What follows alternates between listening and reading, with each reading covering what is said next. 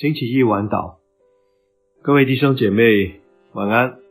在星期一的晚上，忙了一天之后，让我们也可以一起来祷告。啊，大家应该都知道了，在美国 Asbury，呃，中文翻成雅斯本里大学，这个是在肯达基州的一个基督教大学啊，呃，这个发生的复兴的一个现象，好多人聚在教会的会堂啊，一起来悔改、祷告啊、和好、认罪等等。啊，这样的一个复兴现象也延漫了，到了附近的学校啊，譬如附近的一个 Lee University 啊等等。呃，现在台湾有好多报道出来了，我们也非常关注，求主恩待，让这些的复兴的火继续的蔓延。我相信这样子的一个。奇妙的现象都是出于神的，神的工作人是无法计算。我们也恳求主在那个地方发生这样啊奇妙的事情，我们也恳求主的灵也感动我们。不一定是完全一样，但是呢，最重要的是我们的人在主里面更新了。这让我想到有一个人。圣经在约翰福音第一章就记载了他了，那是在耶稣基督来地上的事工之前，为耶稣基督准备道路的这一位约翰。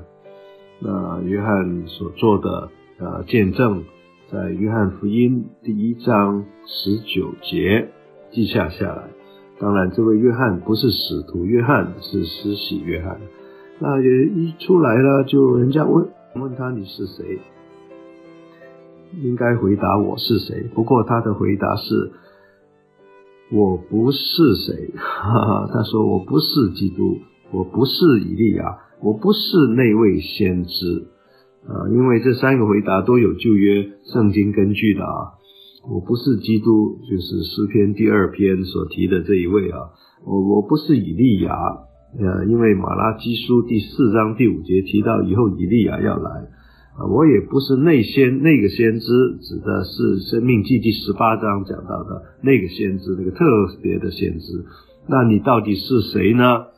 和合本圣经是这样讲的，二十三节他说：“我就是那在旷野有人声喊着说修子主的道。”啊，这样，呃，这个翻译呢？有时候会让我们稍微误解了啊，以为我们约翰回答说：“我就是那个旷野中大声讲话的那个人啊。”其实原来的含义是：“我就是那个声音啊。”在现代中文译本和呃新译本都把这一个的翻译更清楚的讲出来。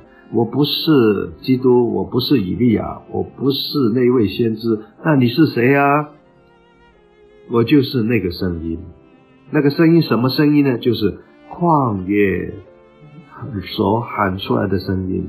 那个声音讲的是修止主的道，正如以赛亚所说的等等。换句话说，这位约翰知道自己的身份，不是这个，不是那个，也不是啊谁谁谁。他知道自己的身份是声音，一个人怎么会变成声音呢？当然不是我们呃这个人格降格了，不是了。他讲的意思是，我就是那个声音，声音是什么呢？声音就是信息，我这个人成为一个信息了。我整个人不只是说话是信息，我的行事为人是信息，我一举手一投足都是信息。我人生最高的目的就是一一封信息，这个信息就是为主预备道路。哇，这样的信息成为我们的提醒啊！施洗约翰是为基督开始地上的工作预备道路的那一位。那现在基督已经来过了，已经成就了他的工作，已经复活也升天了。